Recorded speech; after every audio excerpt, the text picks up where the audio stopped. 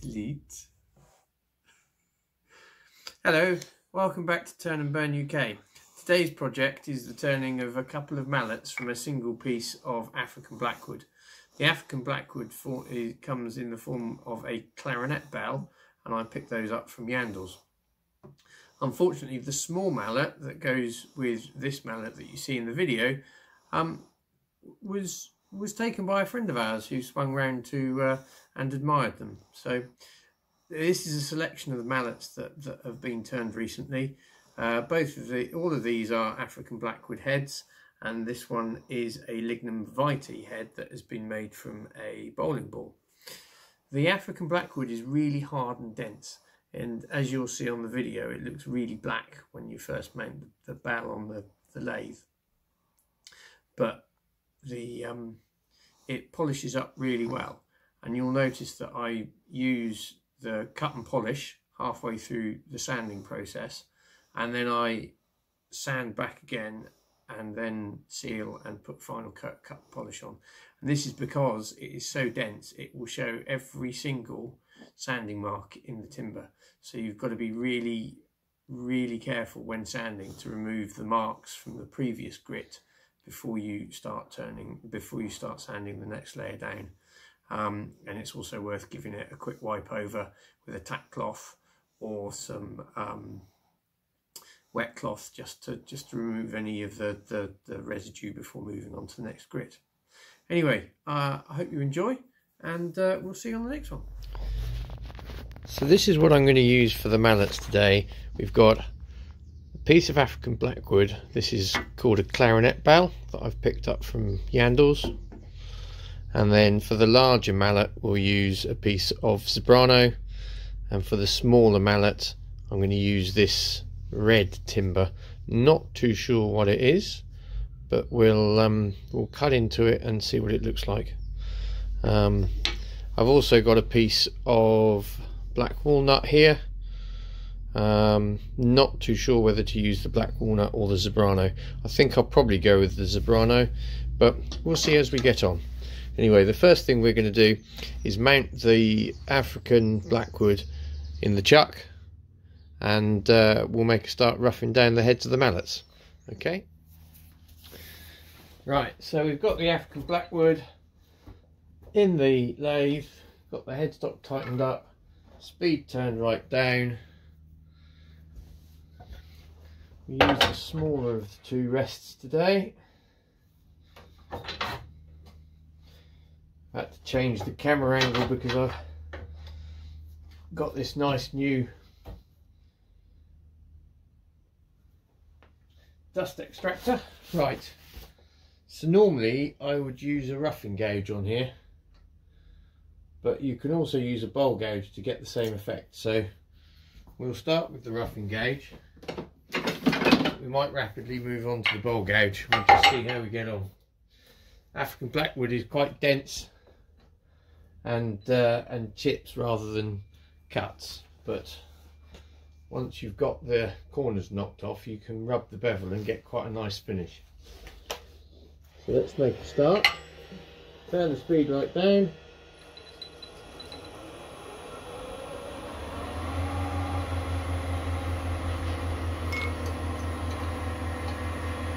Start from the middle.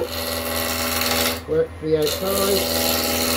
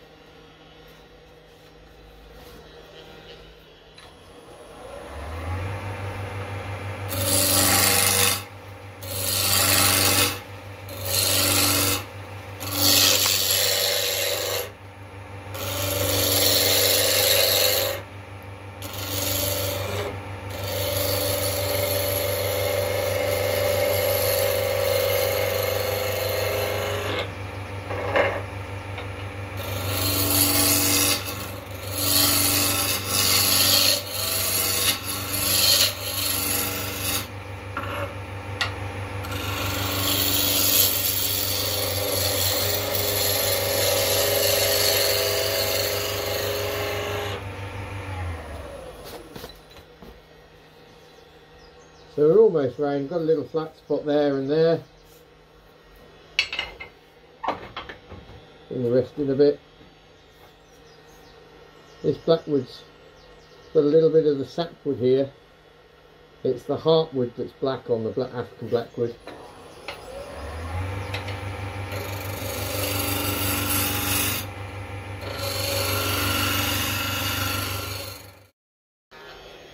Right, we're nice and round.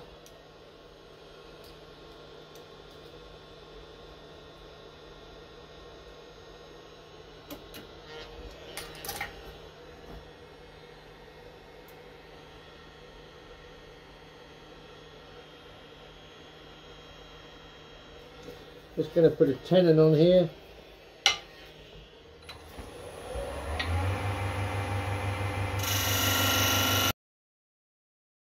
Tenon. Now the head of the larger mallet, about 65 mil. Mm. But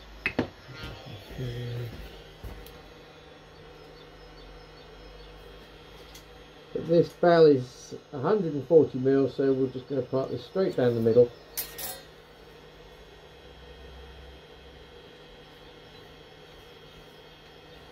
And I'm going to put another tenon on this end.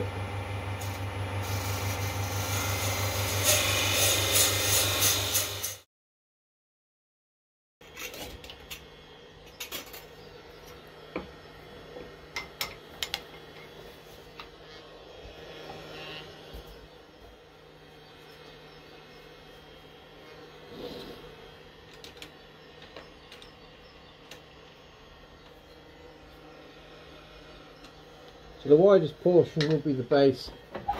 We'll put a small tenon on here. So this is, that's going to be the base. This will be the top. We need to drill a hole in here before we shape the mallet. So we're going to drill the hole using Jacob's chuck.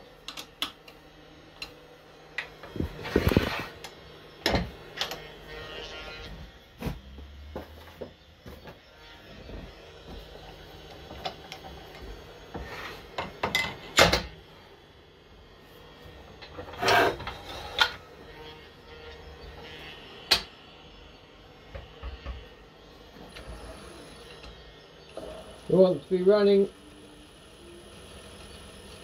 about no more than 600 RPM. I'm just going to advance the, the drill in so that we're making shavings.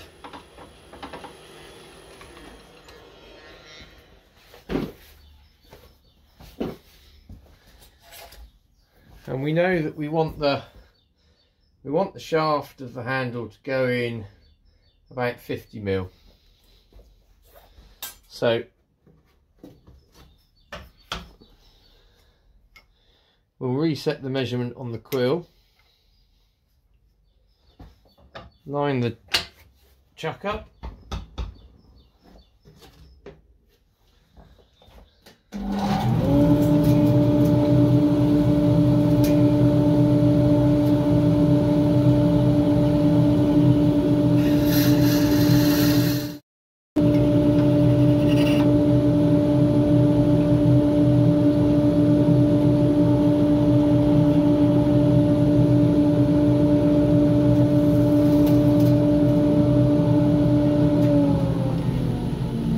Drill bit gets hot it's always worth putting a little bit of wax on the bit it helps it run smoother.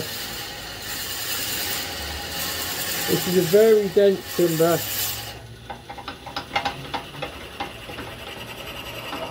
Just need to make sure that the, the shavings are clearing otherwise they build up within the timber itself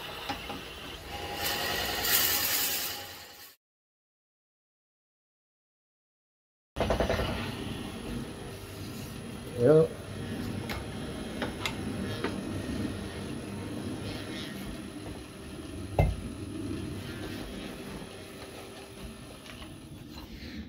Now remember when you take when you take the Jacob chuck out of the end of the tailstock, the tool will, the the Forstner bit will be hot. So put it somewhere where it's not liable to catch fire. So don't drop it in your shavings or something like that.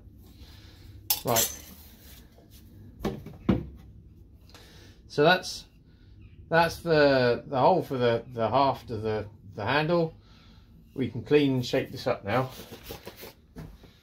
What I'm going to do, I'm going to put a slight slight uh, inverse angle to the head and I'm going to concave this in so that when the handle sits into this head the two will line up without leaving a gap.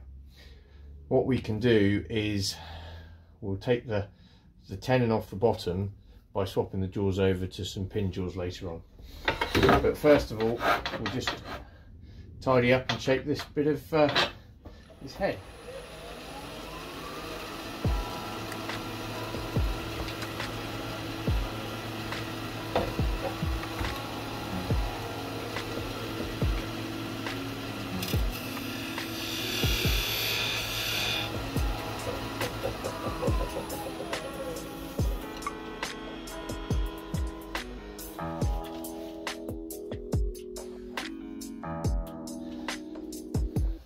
Don't know if you can see that. We've also almost got a perfect finish. You can see the reflection. That's just down to the fact that African blackwood is quite a dense timber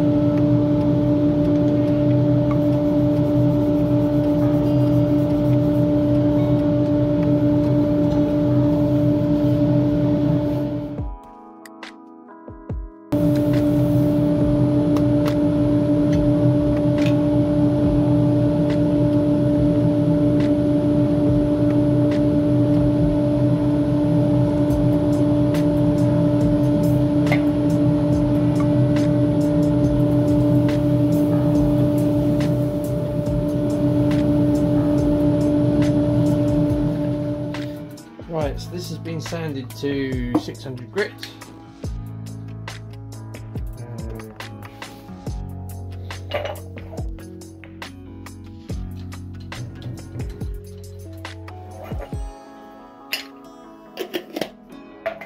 Just give it a final once over with the tack cloth and then we'll put some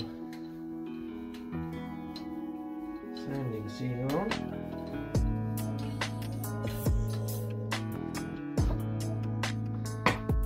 Chestnut cellulose sanding sealer.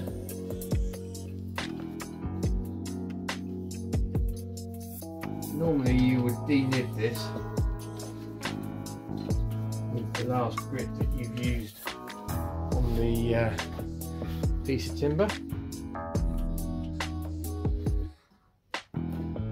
In this case I'm going to put another coat of cut and polish on. That will denib the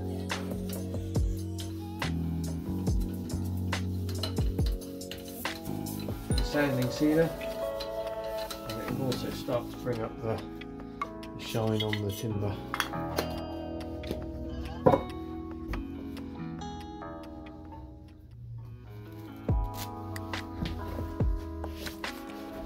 I'm not going to put a final coat of wax on. There is wax in the cut and polish. Once the once the piece is finished, I'll put it on the buffing system, give it a final buff, and then finish it with some microcrystalline wax.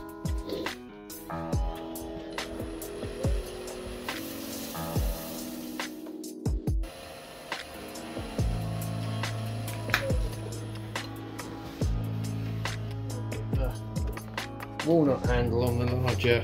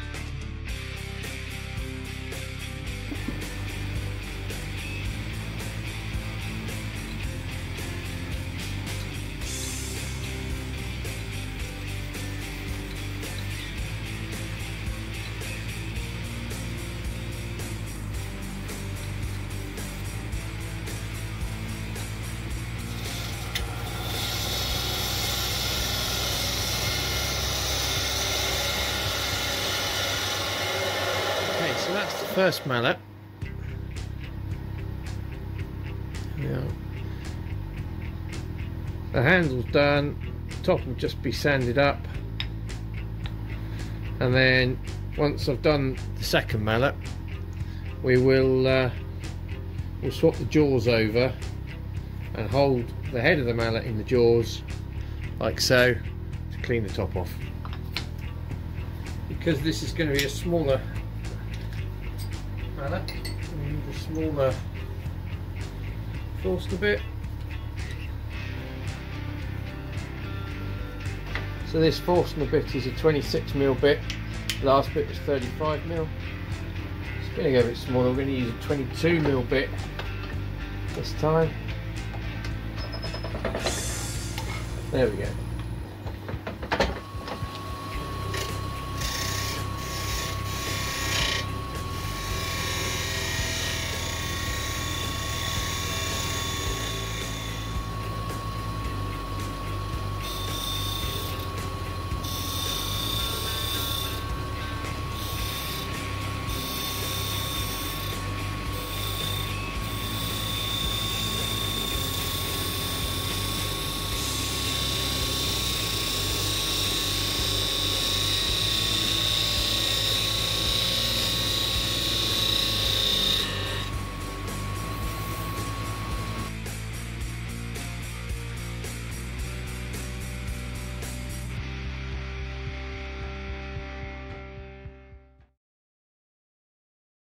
With the cut and polish, just like the Yorkshire grit, you can stop at about 240 grit and then sanding sealer and use the cut and polish and it brings up a nice shine. it's horses for courses. But as the black was really hard, I prefer to take it down, then apply the sanding sealer and the cut and polish. Keep the cloth moving, don't want it to get too hot.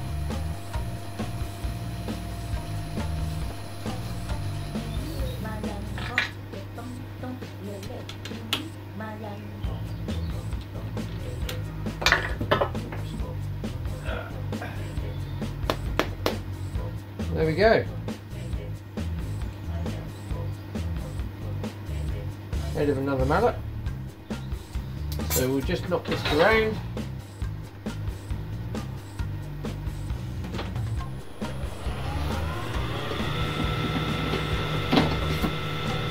Use.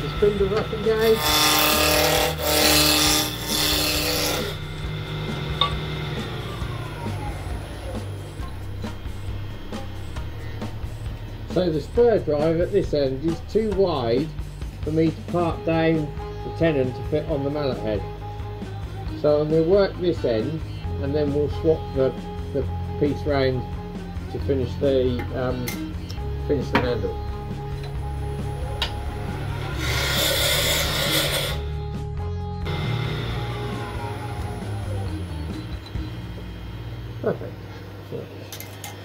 Now we went in 40 mil.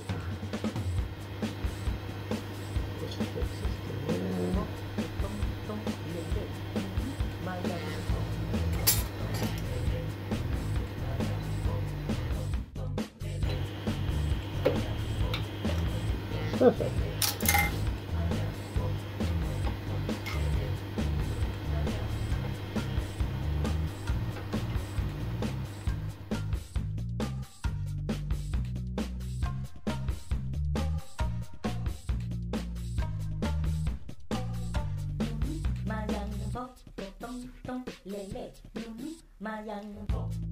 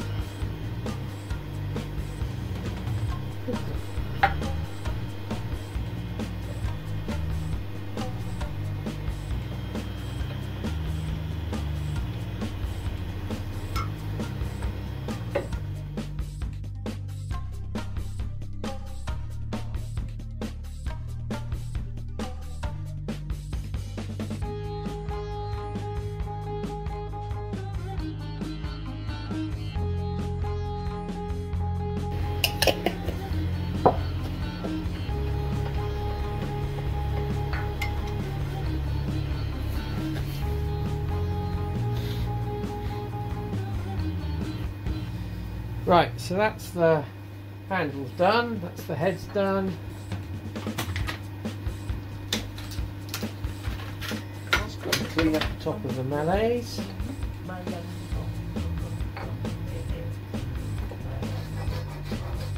We are. There's that looking.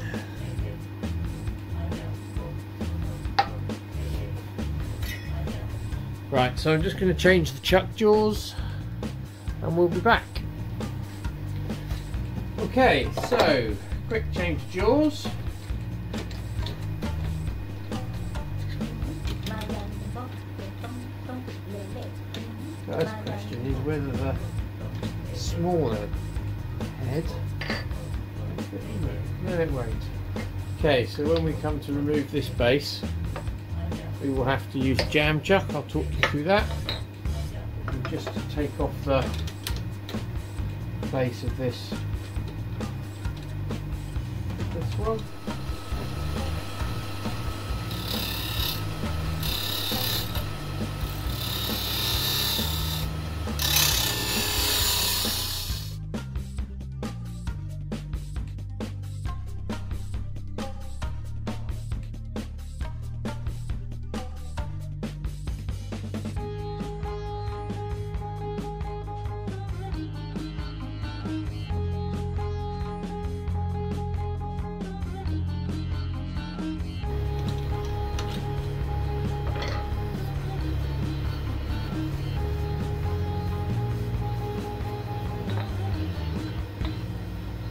We go. Right, that's that one done.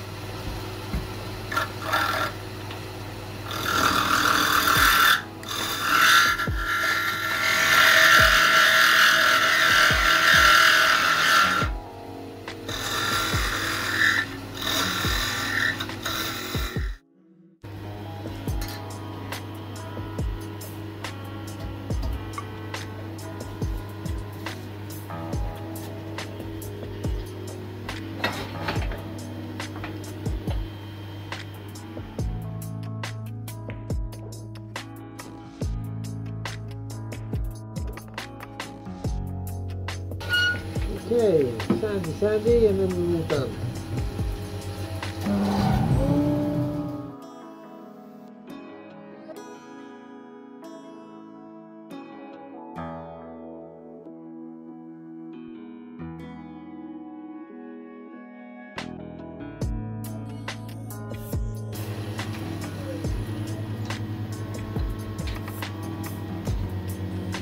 There we go. Two mallets. The the lines that you see cut on here and the same on here is just to help the glue bind when we glue the two together. I use